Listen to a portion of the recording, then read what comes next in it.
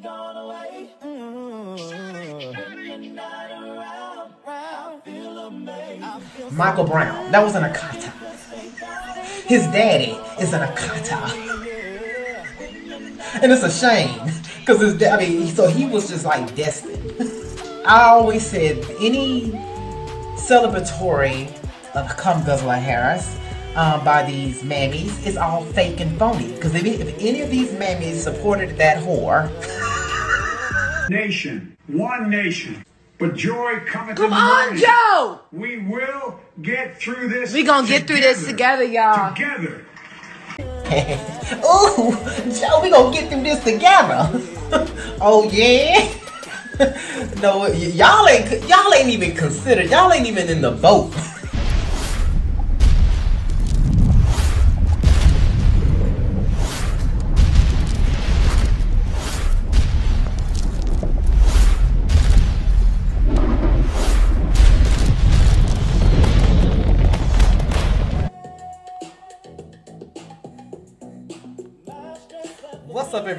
I'm Axel of AxeTruth.com, and this is the Axe Truth channel.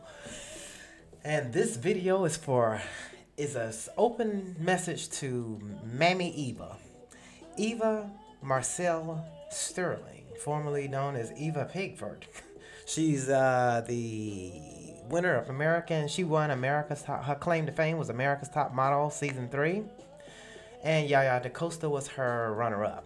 You know, and they had you know pretty, you know, he had a uh, I guess somewhat of a career, not not much, but she did a little modeling there and a few acting gigs and a few things with Tyler Perry and some Chitlin Circuit things, but. You know, I have her in my opening, and this I decided to do this video to her. You know, to to try to help her you know, all video, sound, and music used during this broadcast falls under fair use. Fair use is allowed for the purpose of criticism, news reporting, teaching, and parody, which doesn't infringe on copyright under 17 USC 107. Eva, dear Eva, uh, you got a video clip that somehow I don't know how I got it, but I got it. And I put it in my opening of you crying and saying, Come on, Joe, we're gonna get through this together and you just made a fool of yourself. and you need to I don't know what you, you need to do something because this is not it's not a good look for you. You're not going to be able to live it down, or you're going to come back out and say, you know, I messed up, you know, because I really I'm trying to understand what is it that you wanted, uh, what is it are we we were getting through, and you were crying, you know, I, you was teared up, but let's just reminisce. One nation. But joy cometh in Come the on, morning. Joe. We will get through this. We're gonna get through this together, y'all. Together. As one nation. Look at this mammy. She's absolutely crying with these braids in her head. Tell me, come on, Joe. We're gonna get through this together. Mammy Eva. Um, maybe you don't know. Maybe you weren't paying attention. You didn't know anything about Joe. You just a Democrat just by proxy of being black. and that's what you have to do in the entertainment industry. You got to be a Democrat. You know, your husband had a failed run at mayor here. You know, he may he it, it it seemed like to me if he wants to be successful in politics, he better change parties. If maybe you haven't um, noticed Eva, and you maybe need to go read a book um, and get politically astute. Uh, Democratic policies are failures. Uh, there is nothing good about Joe Biden, and we've been in in this. ma- You know, we're gonna get through this together. So I don't know what was you crying about, but let me give you. Let's play devil's advocate here. Maybe you were talking about the pandemic. Maybe you're talking about that. Let's say you were talking about uh, the COVIDs. okay, but um, um, okay, but let's just go. Let's just go and see what we what we have had so far under Joe. We had inflation, hyperinflation. Look at that. Gas is up forty nine percent. Fuel 59%, 50, 59%, natural gas 28%. Um, you know, and energy prices, let's just go with that. Let's just start with energy prices. We were uh, under Trump, under Trump, President Trump, we had no supply chain issues. We, crime wasn't rampant. Gas wasn't re- was reasonably low. And most of all, the cost of living was manageable, and we were a net exporter of energy. We were exporting oil. When Joe came in, uh, we went from exporting oil, oil to um, importing it again. and that's where our energy prices went up. And that affects everything.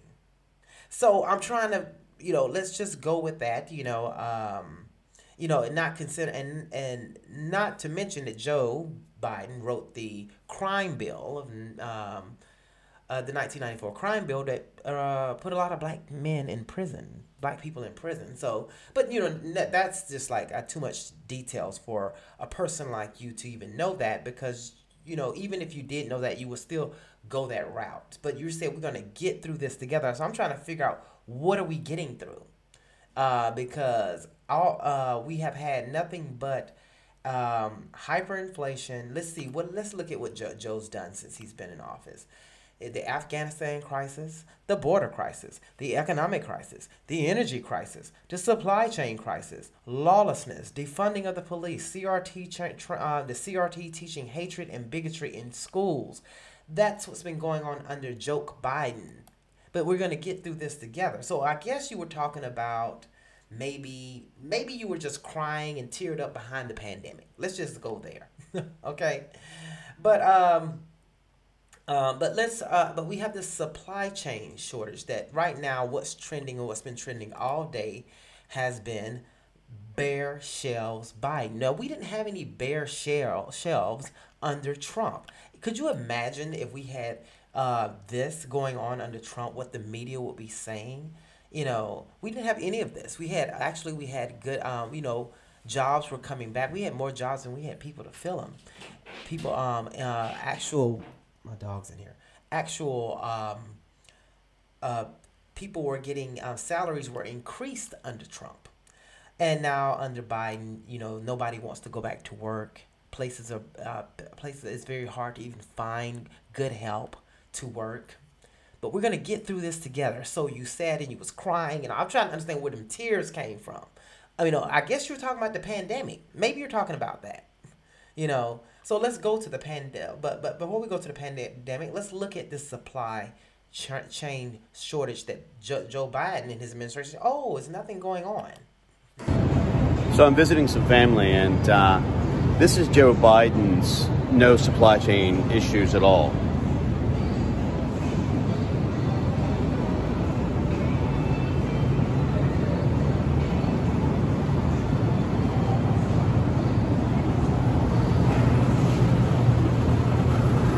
This is the no issues with supply chain Joe Biden while Pete Buttigieg and everyone else is sitting on vacation and sitting in Delaware on the beach. This is what we have.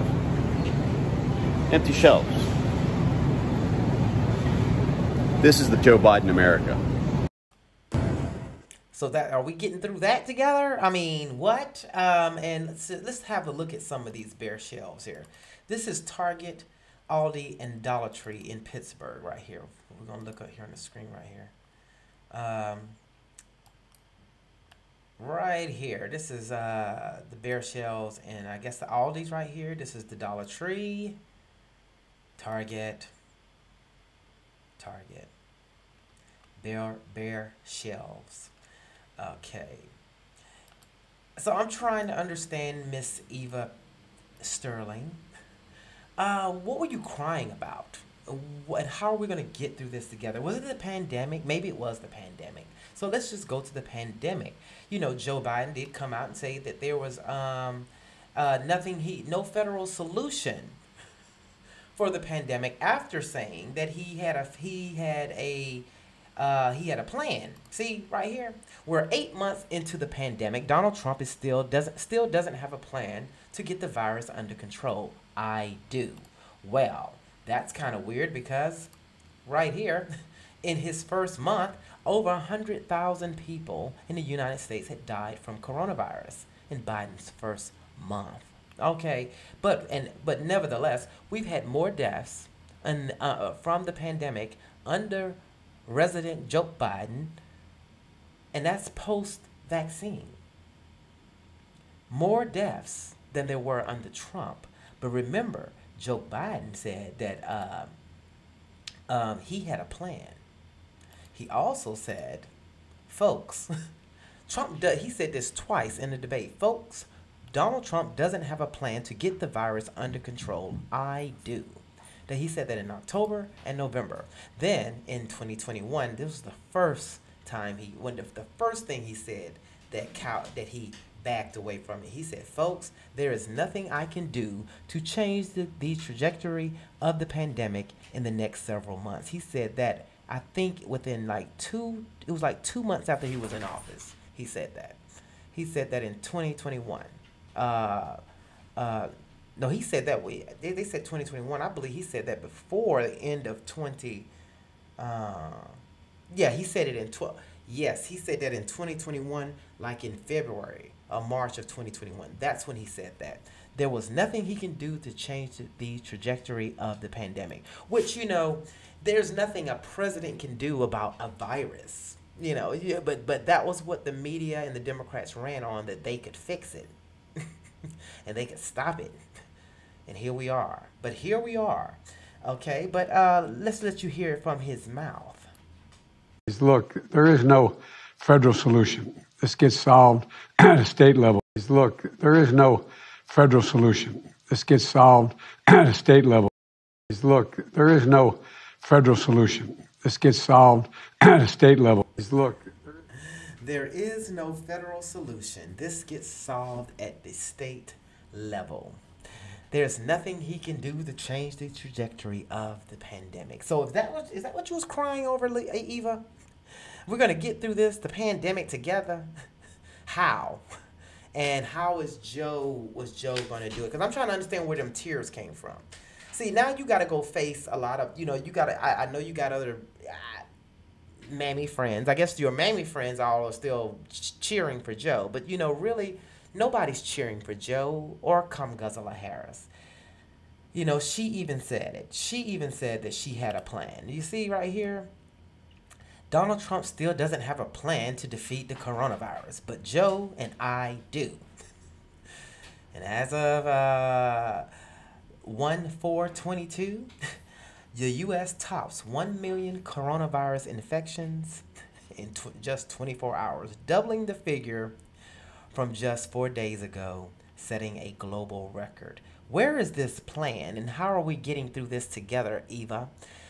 Uh, Eva, you made a fool of yourself with that video clip, and you need to try to figure out how you're going to, you know, like redeem yourself or explain yourself. What was these tears for, for, for, for? Why? What was it that we was going through that brought you to tears for Joe Biden?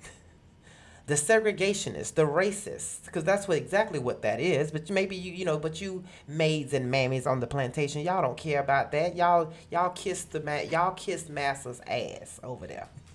you know, but you're going to have to live this. You got to go around more black people because a lot of black people do not like Joe Biden. so you got to live this down that you were sitting here crying and cheering on, come on, Joe. Come on, Joe, to do what? Because Joe ain't thinking about you, Shines. He didn't told y'all. He said it. He said it. He said it's more Hispanics in this country, and you better learn to get along with them. It's more of them than there are y'all. You want to hear it? Here it is.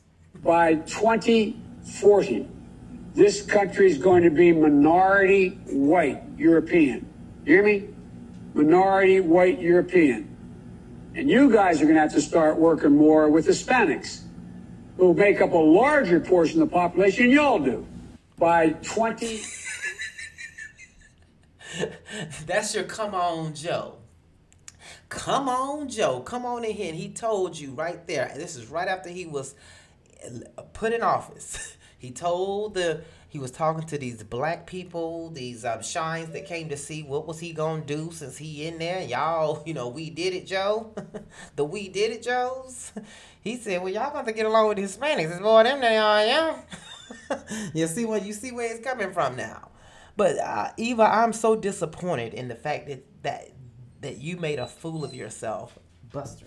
You made a fool of yourself doing a video cheering on Joe Biden and saying we're gonna get through this together. I want to know what were you talking about? Getting through what? It couldn't have been the pandemic because we're still here, and it's worse, and everything else is worse. I feel bad. You know, I, I think you need to go read a book and then just get off the internet. Uh, you know, Joe, Joe Biden was gifted with the vaccine coming into office. He had something already in play to post to help stop the spread. but for some reason, it hasn't done that either. According to the okay, uh, according to a famous business school's budget, many Americans will be will spend five thousand five hundred more, five thousand five hundred more in 2022 just to maintain their current standard of living. The study suggests low income families will be affected disproportionately. The study estimates that lower income families will have to spend 1 or 2% more money than higher income families. This hyper this inflation that's going on and the rise in energy prices hurt low income people more than any anybody in this country. And that's black people. And you're black. Your husband's black. Y'all are Democrats. And you voted for this shit.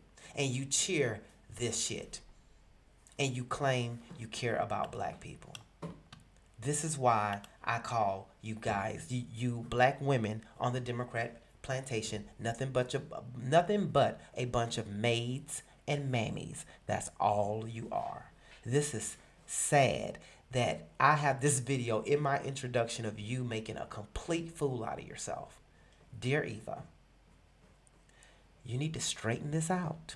You need to answer this because you have made a fool of yourself. A complete fool of yourself. Put your comments below, everyone. Share the video. Get this over to Eva because I know she's going to see it.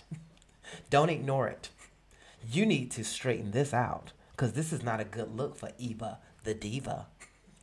Because you like Eva the diva dummy, the dummy mammy. So, dear mammy Eva, straighten this out because right now you look like a straight up fool. The one world government, you can't make war with that. Why? There's no government to go against it. It consumes the world but not God's elect. This is where you've got to understand, and this is why you've got to have strong faith, is to know as long as God is with you, who can be against you? Nobody. As long as you are armed with the sword of the Lord, the truth, and you understand what's happening in the world, God protects you. You and He make a majority. And you can count on that. You can believe it. Uh,